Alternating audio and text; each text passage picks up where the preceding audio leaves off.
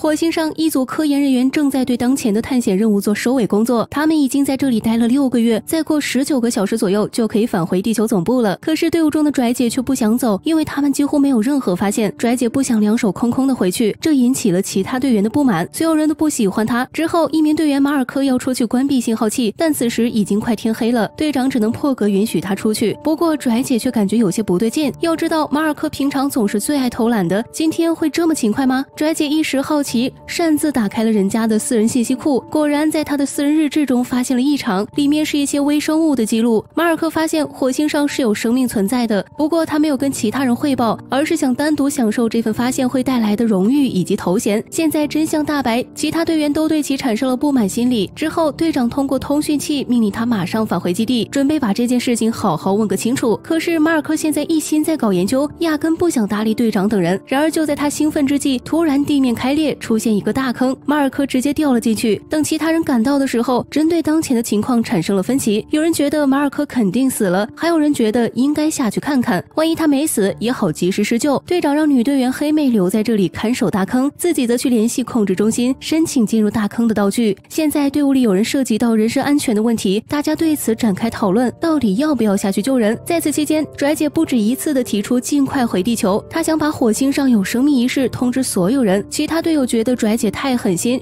双方一言不合就吵了起来。很快，他们收到总部的消息，让大家尽力去营救遇难的队友。他的家人正在地球焦急的等待，无论如何也要给出个说法。跟马尔科关系好的人当即决定先去救他，然后再宣布火星上有生命的消息。队长虽然觉得这样做过于冒险，不过他也知道队员们之间的感情深厚，所以并没有进行阻拦。与此同时，黑妹在深坑处发现了异常情况，她想联系队长，可通讯设备却突然掉线了。等其他人赶到这里的时候，黑妹已经不见了，深坑里则冒出许多蒸汽类的东西。现在已经有两名队员消失，他们必须得看看深坑里到底有什么东西。队员文森特在腰上绑紧绳子，然后开始慢慢进入深坑。他用手电筒一照，发现这里全都是蜘蛛网一样的东西。虽然不能确定具体是什么东西，不过这也能证明火星上的确存在生命。文森特继续往下潜，结果一个脚滑摔了下去。好在岸上的队友及时将其拽上来。文森特说自己并没有在深坑里看到失踪的两名队友。这时时队长收到消息，有人在不远处找到了两排脚印，不出意外的话，应该就是失踪的两人。根据脚印来看，他们应该是回基地了。队长一听就感觉不对劲，明明这里有漫游者探索车，为什么他俩要走着回去呢？不过平安无事就好。队长通知拽姐准备一下，黑米两人可能身上有伤，到时候他负责处理一下伤口。很快，拽姐和另一个人就从探测器中发现有人正在靠近，可是不管他怎么呼叫，对方就是毫无回应，这让拽姐隐隐感到不安。很快，马尔科踉踉跄跄的回到基地，男队员见状赶紧上前搀扶他，谁知一脱下马尔科的头盔，才发现他已经发生变异，变成了面目狰狞的丧尸。看来那个深坑里应该有某种病毒。男队员顿时被吓到说不出话。只是马尔科跟其他电影里的丧尸不同，他很聪明，还会用武器，很快就拿电钻捅死了男队员。这时拽姐被打斗声吸引过来，看到眼前的场景，她急忙转身逃跑，马尔科则在后面追击。拽姐随手捡起一个重物，就朝着他砸了过去。双方在狭小的空间里展开搏斗，但是毕竟力量悬殊，拽姐很快就败下阵来。好在队长等人及时回到这儿，他并没有意识到事情的严重性，天真的以为马尔科只是感染了什么病毒。队长上前拖延时间，拽姐这才得以逃脱。他告诉其他人，马尔科和黑妹都变异成丧尸了。事到如今，众人只能把他们关在基地，并带着队长一起逃出去。可是他受伤太严重，队员们不得不带着队长前往备用舱，给他注射吗啡，并开始处理伤口。问题是队伍里没有专业的医生，队长的伤需要缝合，大家都无能为力。他知道自己可能没救了，嘱咐队员们务必要把自己对家人的思念传达回地球。说着说着，队长突然暴起，一把掐住了旁边的男队员大胖。其他人见状，急忙上前阻拦，费了九牛二虎之力才压制住队长。没过多久，他就失去了生命。所有人都感觉特别惋惜，只有拽姐知道队长可能会变成跟马尔科一样的丧尸，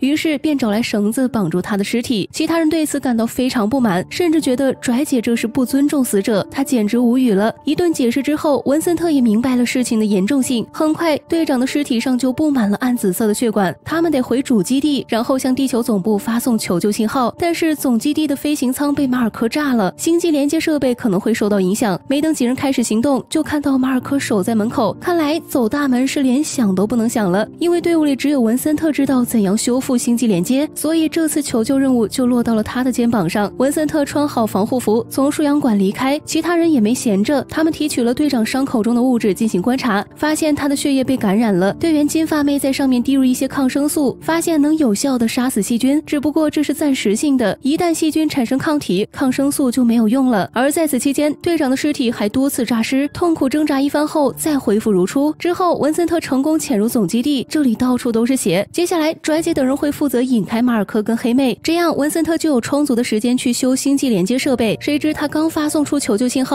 马尔科跟黑妹就开始往基地赶。大胖等人见状，急忙采取措施，重新把他们吸引过来。文森特这边，他遇到了另一名变成丧尸的队友，对方二话不说扑了过来。好在文森特有实力在身，当场开始互殴。但是丧尸的生命力过于顽强，文森特根本打不死他，只能落荒而逃。他们互相追逐着进入输氧管道中。文森特联系金发妹，让其看准机会打开嵌板。很快，他们从管道内钻出来，可丧尸也跟着来到这儿，几人顿时乱成一锅粥。他们接连逃出去，最后只剩下拽姐。大胖觉得他被丧尸打伤了，可能会发生变异，一狠心关上大门，看着拽姐被丧尸所杀。之后又告诉文森特和金发妹，拽姐是因为动作太慢，所以才没逃出来。情况紧急，两人也没有多想，他们一起跑进漫游者中，这才成功摆脱掉丧尸的追杀。在此期间，金发妹也不幸被丧尸抓伤，文森特为她注射了抗生素，并打算返回基地给金发妹包扎伤口。可大胖却觉得她会变成丧尸，想把金发妹半路抛弃掉。这一想法惹得他非常生气，因为大胖之前也遭到过队长的袭击，如果跟丧尸接触过就会被感染，那他自己也有被感染的风险。这下大胖无话可说了，只能老老实实闭嘴。好在文森特已经发送出求救信号，总部会派飞船来接应他们，三人只需要到达飞船的着陆点就行。可是他们现在所乘坐的漫游者能源不够用，几人只能去寻找另一艘漫游者。大胖为了表示自己的诚意，主动下去查看情况，在确认一切没问题后，他再次告诉文森特金发妹没救了，并劝说其尽快离开。可是文森特不想抛弃同伴，大胖见状也不再挽留，